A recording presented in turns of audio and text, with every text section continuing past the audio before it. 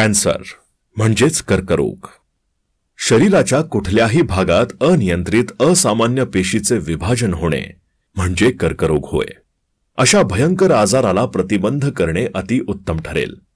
गुंगी आणणारे पदार्थांची सवय लहाण्यांपासून ज्येष्ठांनीही टाळावे. मद्यप्राशन दारू वाईन भांग चरस कोकेन धूम्रपान सिगरेट गांजा हुक्का विडी असे व तंबाखू गुटखा मिश्री इत्यादी. त्यामुळे आपले सुंदर आयुष्य गलिच्छ होते. त्वचेच्या सुंदरतेसाठी व संरक्षणासाठी नैसर्गिक उत्पादने वापरावेत. रासायनिक क्रीम वापरू नये. डाय क्लिनरमध्ये प्रीक्लोरोइथिलिन हे कर्करोगकारक रसायन असते. त्यामुळे यकृत व मूत्रपिंडाचा कर्करोग होतो. म्हणून तशा डाय क्लिनरचा वापर कटाक्षानं टाळावा. भाजीपाला फळे हे सेंद्रिय खतांपासून उत्पादित असावे. अतिरिक्त तृणनाशक जंतुनाशक व कीटकनाशक औषधे युक्त फवारणी केलेले अन्न पदार्थ आहारात टाळावे. कारण त्यात कर्करोग युक्त रसायने असल्यानं कर्करोग संभवतो. आहारात अँटीऑक्सिडंट रिच पदार्थ जसे की पालक टोमॅटो बीटरूट डाळिंब किवी द्राक्ष strawberry blue and red berries यांचे सेवन जास्त ठेवल्यास असंख्य कर्करोग प्रतिबंध होतात. हवाबंद डब्यातील व प्लास्टिक बॅगमधील मांसाहारी व शाकाहारी पदार्थांचे सेवन टाळावे. मांसाहारी पदार्थ बनवण्यापूर्वी ते स्वच्छ व गरम पाण्यानं धुवून घ्यावेत. कच्चे व अर्धवट भाजलेले मांसाहारी पदार्थाचे सेवन कटाक्षानं टाळावे. मायक्रो प्लास्टिक मटेरियलचा वापर करू नये. कारण गरम करण्याच्या प्रक्रियेत कर्करोगकारक रसायने पाझरल्यानं कर्करोग होऊ शकतो.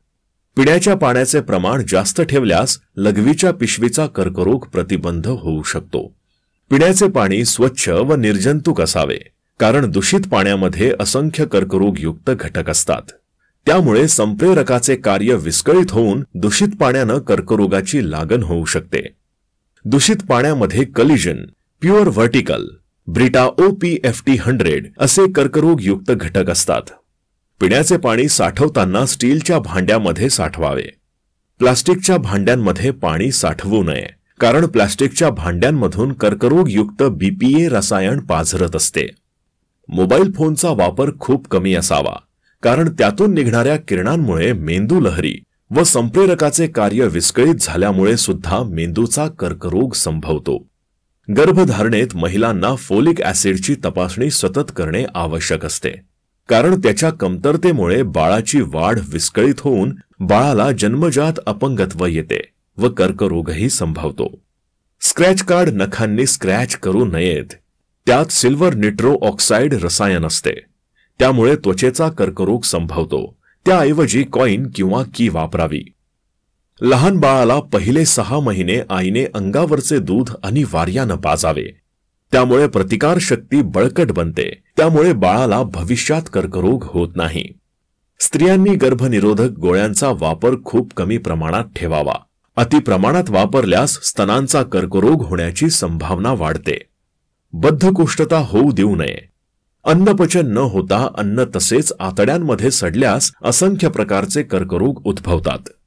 रोज नियमित तीस ते साठ मिनिट व्यायाम करावेत. त्यामुळे सूक्ष्म भागांना रक्ताभिसरण सुरळीत होऊन पेशींचे कार्य निरोगी राहते. त्यामुळे कर्करोग उद्भवण्याची शक्यता राहत नाही. एच आय व्ही एड्स खूप भयंकर आजार. आहे हे तुम्हाच ठाऊक आहेच. हा एक विषाणूजन्य रोग आहे. विषाणूजन्य रोगांना अजून लस नाही. म्हणून अशा आजारांना प्रतिबंध करणेच उपयुक्त ठरेल. एड्स आजार पसरण्याचे मार्ग. रक्तासोबत संबंध वीर्य आणि वीर्यपूर्वीचा पातळ स्त्राव योनी स्त्राव गुदद्वारातील स्त्राव आईकडून मुलाला व स्तनपान. संभोग करताना निरोध वापरावा. एकपेक्षा अनेक स्त्रियांशी अथवा पुरुषांशी संभोग टाळावेत.